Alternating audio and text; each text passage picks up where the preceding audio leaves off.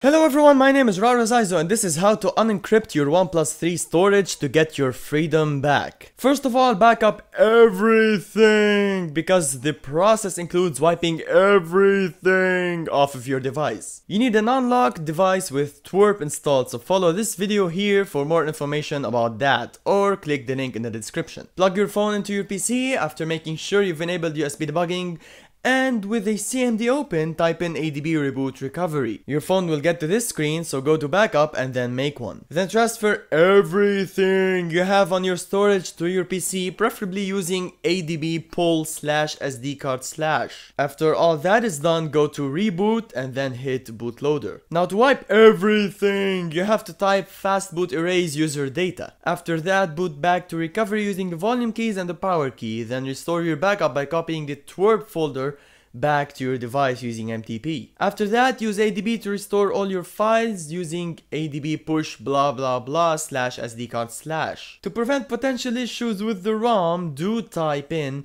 adb shell chown dash r media underscore rw colon media underscore rw space slash data slash media. It is a complicated command so it is in the description down below for you to copy and paste. That's it, reboot back to the OS and now you're unencrypted.